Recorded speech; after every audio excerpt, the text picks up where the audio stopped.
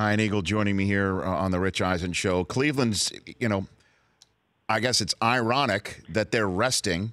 Um, they have yeah. pretty much the whole week off, because uh, at least six games we're going to get out of Milwaukee and Toronto. Um, with the Cavs, do you believe they are the best team in the East, Ian? Yeah, I, I been fascinated by the points of view coming off this series. You get the one point of view, which is usually from former players. Hey, you take a win any way it comes. You sweep a series, that means rest. This is all positive. And I can absolutely see that angle and agree with it. But the flip side is they could have easily lost three of those four games. They didn't play particularly well in certain stretches. I wouldn't call it a dominant series by any stretch. Indiana had opportunities. So the concerns that we had going into the playoffs regarding Cleveland, to me, are are still there. Are they the best team in the Eastern Conference? They are.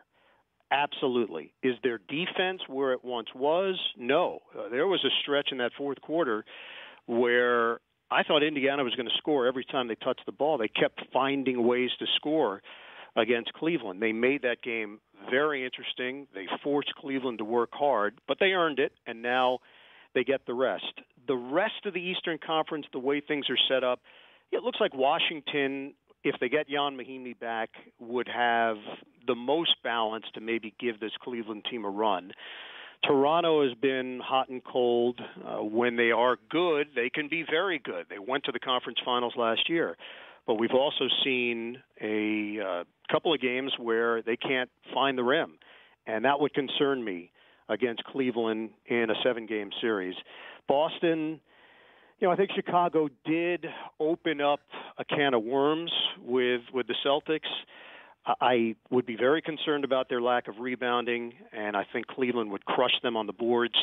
But I'm glad Boston has made this a series. I'm glad it's not a hollow number one seed. They had a great regular season, and for Brad Stevens to pick up the kind of flack that he was getting based on the first two games, I, I thought that was unfair. The Rich Eisen Show, weekdays at noon Eastern on Audience.